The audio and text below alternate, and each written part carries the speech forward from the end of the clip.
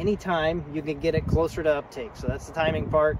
You know, more up front, right in front of the crop at planting with the planter or whatever, or in season is ideal. We have a lot of different options, especially with liquid. Yep. Uh, but uh, getting it closer to when the crop needs it is really important. And not to go back to this, Phil, and I hate to beat our own drum here, but I did make that video in June that said this is going to be a problem in places. You did.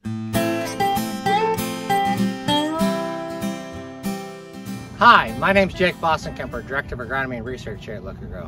While we're up in beautiful north central Iowa establishing fall treatments for research trials, and Miss Marketing Director Katie, we're making videos. I haven't shaven in three days, my hair's a mess from my beanie, but here we are, we're doing it.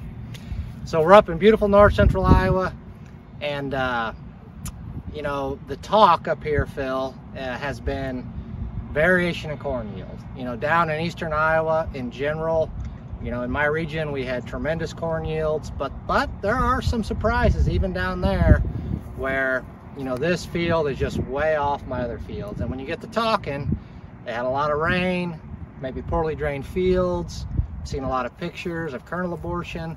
I'm gonna say with a reasonable amount of certainty, the yield variation down there was caused by too much water and associated nitrogen loss, which is why I made that video in June telling guys, hey, we've had a lot of rain, and loss could be a concern.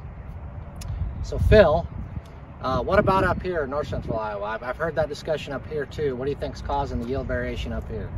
Yeah, I think the majority of it goes back to what you're saying. I think we're basically going to have a, a, four R's discussion on this because uh, everything revolving around nitrogen placement, timing, the product. You know, I mean, we're, we're we really got to tune that in, and this year uh, exacerbated the issue. What we got to understand is nitrogen is probably is the number one nutrient we work with that's the most volatile in the soil environment in general. You know, and and it's really tough to manage. So we, you know, in this part of the state, we do have more fall application, fall anhydrous applications. There's a lot of that that happens. Uh, so being careful for sure when you're putting that on. You know, it's like you said, it's beautiful. It is cooling off finally, but um, you know. Yeah, I got my bibbies on. Yeah, a little brisk this morning. it's cooling off now, but the last few weeks, you know, in terms of fall, we're kind of doing a, a summer, yeah, winter kind yeah. of thing again, and uh, and so, it's going to warm up. Again. And it's going to warm up. Yeah, we get back into the 70s, so that means soil temps, obviously, even four to six inches down, that buffer, you know, they're still not that cold. So making sure that you're putting on at the right time and putting something to keep basically the bacteria from converting it is, is important too. But that, that's one of the things I think that led into the 2024 here issues we had. But just the amount of rainfall and the timing that we had it on. You know, we a lot of stuff got planted early, and then there was a break, and we got. I, I, I don't think the the rooting was such an issue, other than we had too much moisture, which slowed down rooting, and we had a lot of diseases in corn. So so back to the anhydrous thing real quick. So you know, fall anhydrous, it's always, you know, risky when you apply your anhydrous seven or eight months before the crop takes it up.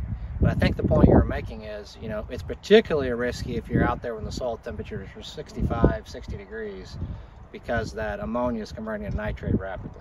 Yeah, yeah, exactly. And then, you know, that's why you put a nitrification inhibitor in there. But and, and anhydrous naturally kills the stuff that's around it. Yeah. Um, the the nitrification inhibitor helps uh, prolong that, but uh, you got to realize that if it's the soil temperature's warm and those in, the the biology is working overtime, they're going to break through that even in the fall, and you definitely don't want that. We don't want it converting in the fall because we still got to make it to, to May mm-hmm. essentially. You know, the crop's really not taking that much up, and that plays right into the timing part of it. You know, we're talking about fall application, so split applying is ideal, but getting it closer to when the crop takes it up is also important so that we don't have that conversion to nitrate when nothing is taking it up. Absolutely.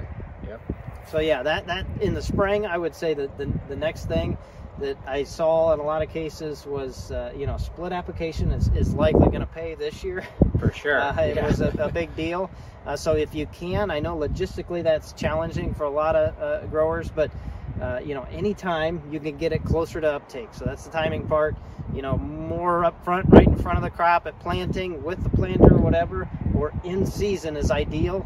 You know, we do a, we have a lot of different options, especially with liquid. Yep. Uh, but getting it closer to when the crop needs it is really important. And not to go back to this, Phil, and I hate to beat our own drum here, but I did make that video in June that said this is going to be a problem in places. You did, and I and think it was. It was. And so, hey, you know, you know, Phil and I are out in the country. We're seeing what's happening. Oftentimes, we see things coming. So stay tuned and listen in. You know? Yeah, there's a lot of, like you mentioned. Uh, I just did a video not too long ago with Ashley talking about ear flex and, and understanding this time of the year what that ear is telling you. Even yet, it's more fun in the middle of the season, but seeing that abortion at the tip and stuff, you need to understand where that's coming from. That stress. That stress could be nitrogen. In a lot of cases, we saw nitrogen firing up the plant uh, even shortly after pollination, which is not good. Uh, but that, that severe stress or zippering on that ear is going to be an indication of that, that nitrogen stress, most likely. Yep. It could be another severe stress, and but that, that was some of the symptoms that would that were, were described to me in the situations I was involved in in, in eastern Iowa. The zippering ears, the kernel abortion. So what happens if we apply all of our UAN, let's say on April 1st, you know, as a dribble band? Would it be a decent idea to put an inhibitor in there? Do you think? Yeah, in April, in, in my opinion, I still think it would be ideal because you're you're not, you know, the, the crop really isn't demanding it. That that period of rapid growth for corn is when it it wants the most. It's going to be taken up quite a bit per day at that point, but that's not till June. So if we have another, I hope we don't maybe have another spring like 2024, but you know, if you put everything down April 1st, you know, you, you may not get planted till uh, late April or early May, and then and then that that inhibitor in there, instinct is what I'm speaking of, nitrapyrin. It can buy you about four weeks. You know, it'll it'll help keep it in the ammonium form for about four weeks. You know, and that starts to taper off. But if you have some big rainfalls in that four weeks, it, it can definitely help. Yeah, yeah. We don't want it moving with the water, especially down into the soil profile. The further it gets, the harder it is to chase. And if we have a, a spring like this where it's really wet, those roots aren't going to necessarily go down through a water table to get to, you know. Yep. that's that's in, in essence that's what happened this year. I think in a lot of cases, we saw on the, the, the higher ground. In some cases it was worse, but in a lot of cases that was better. The, the lower areas denitrified, they sat ponded, literally ponds for quite a while. Uh, and, and those areas are really lots of denitrification. So after they got through that, in a lot of cases, we saw that corn rebound and come come back in July, June, July, and people thought, oh, it's it's going to be okay. Uh, but at that point, the nitrogen was was gone. I mean, yeah. it didn't have much to work with at all. So yeah. so those ears are, if they didn't have disease and other things, are really really just small.